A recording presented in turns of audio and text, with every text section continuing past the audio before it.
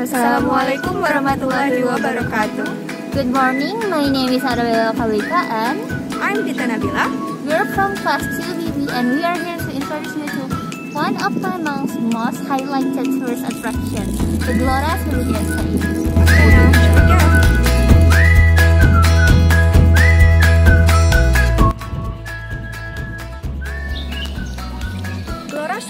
Stadium, or also known as Jakabaring Stadium, is a multifunctional stadium and the third largest stadium after Gelora Bung Karno and Palaran Stadium. And the stadium has been acknowledged as one of the best stadium in Indonesia with uh, international standard. The stadium is usually used as a place for football. Oh, also, in addition, it also serves as the main headquarters of a famous Indonesian football club, Sriwijaya FC.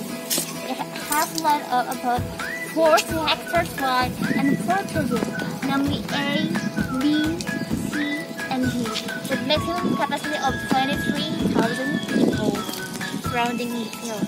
The area outside the stadium is usually visited by locals for recreational purposes. They also tend to do physical exercise such as jogging and cycling.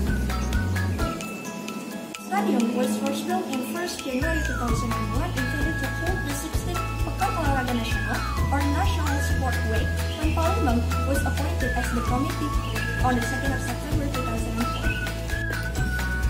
The stadium was named after the Sriwijaya dynasty, a prosperous maritime-based kingdom centered in Palembang, which united the western area of Indonesia at the time. The kingdom ruled from 7th to 12th century. Gelora Sriwijaya underwent a renovation ahead of a World Cup initially planned to be held on May to June 2020. The new face of Gelora Sriwijaya is you enter the inner gate. A fence that is at least two meters high is built in the area in front of it. Of course, it's not the only thing that happens to the stadium. The four tribunes in the stadium, the north side, west side, east side, and south side, noticeably experience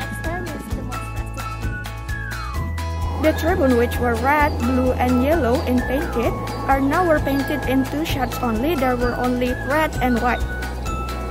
This shows significant changes at the largest stadium in South Sumatra.